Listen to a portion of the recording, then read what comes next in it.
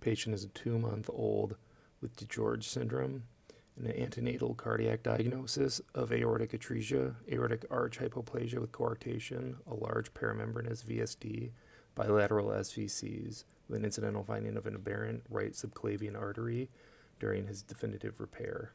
This video will demonstrate how Dr. James Tweddell does a Yasui procedure and how he manages an aberrant right subclavian artery translocation.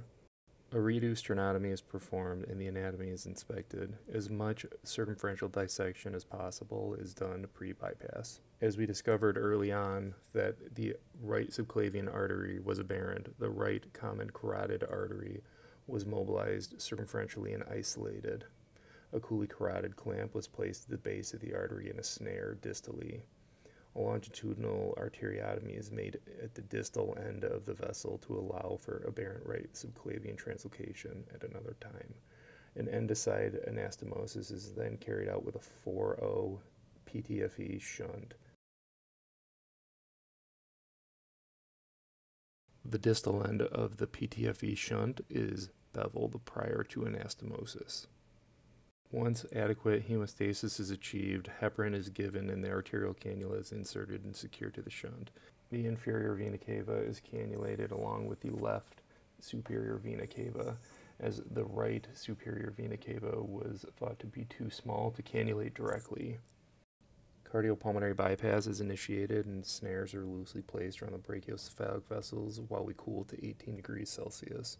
The branch pulmonary artery bands are removed and the aortic arch is mobilized. The aberrant right subclavian artery is located and snared and antegrade cardioplegia is delivered through the arterial limb of the circuit. Antegrade cerebral perfusion is then initiated.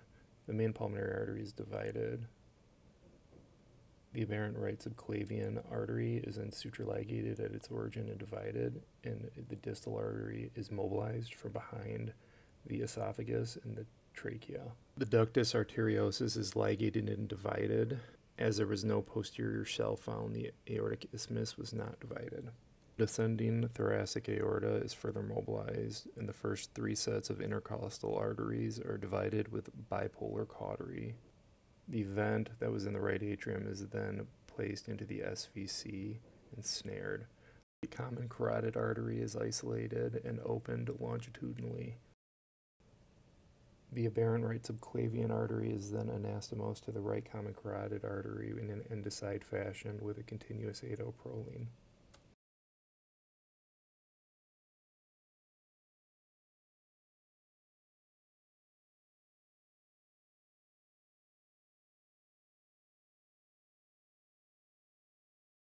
The branch pulmonary arteries are gently dilated and did not require further patch augmentation.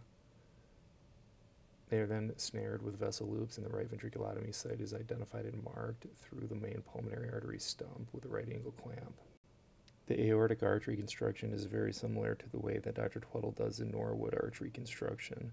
The underside of the ductus is incised, and the incision is continued along the underside of the aortic arch down the lateral edge of the ascending aorta, being careful not to spiral the incision as you go down. The incision terminates approximately 2 to 3 millimeters above the top of the pulmonary artery stump. A Damus-Kaye-Stansel is then performed.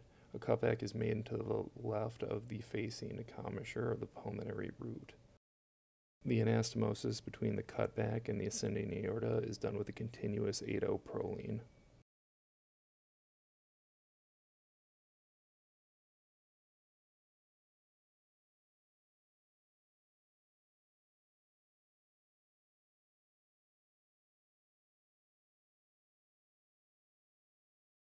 The left lateral edge of the ascending aorta is then anastomosed with a continuous 7-0 Prolene to the corresponding edge on the descending thoracic aorta.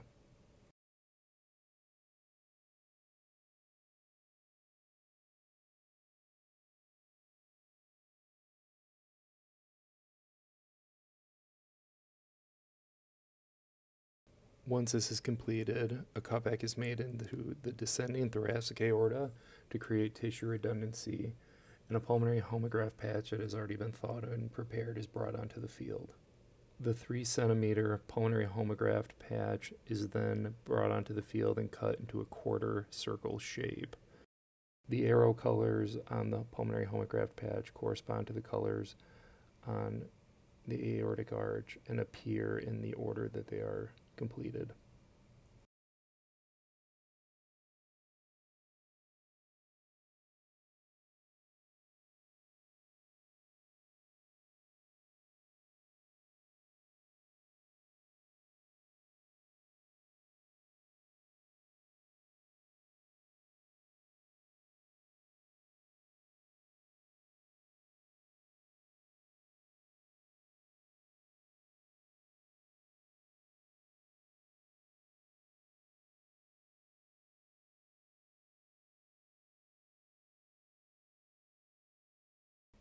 The secundum atrial septal defect is enclosed primarily and the right atriotomy is closed with a continuous 5-0 Prolene.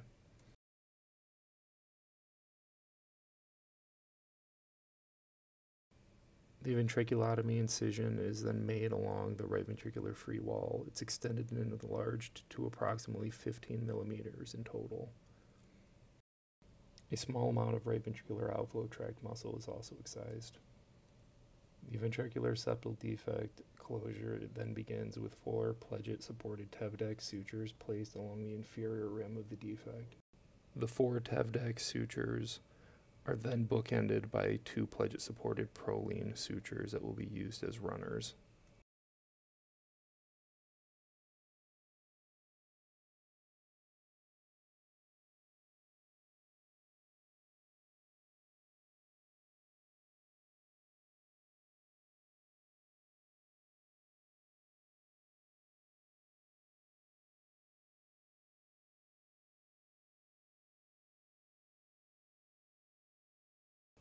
The left ventricle to aortic baffle is then completed.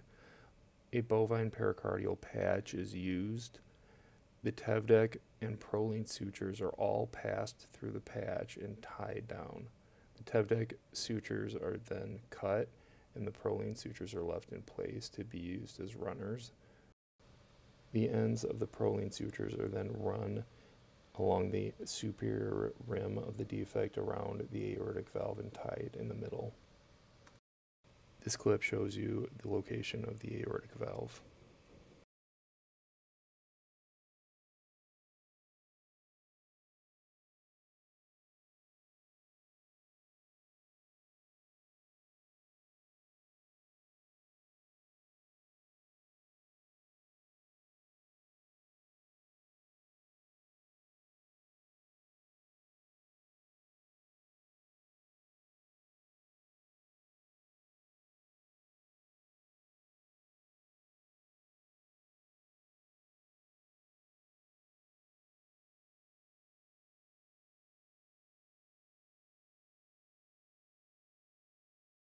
The right ventricular outflow tract is then reconstructed with an 11 millimeter pulmonary homograft. The distal anastomosis is completed first.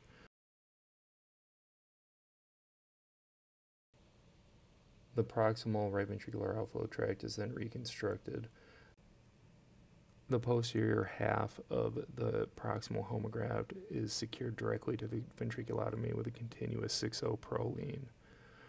An anterior hood is then created out of bovine pericardium and secured with continuous 6-0 Prolene.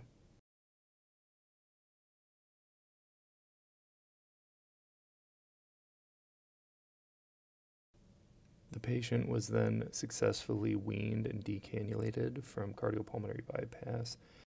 Postoperative transesophageal echocardiogram demonstrated normal function with no residual left ventricular outflow tract obstruction, nor obstruction through the RV to PA conduit, and no residual ventricular septal defect.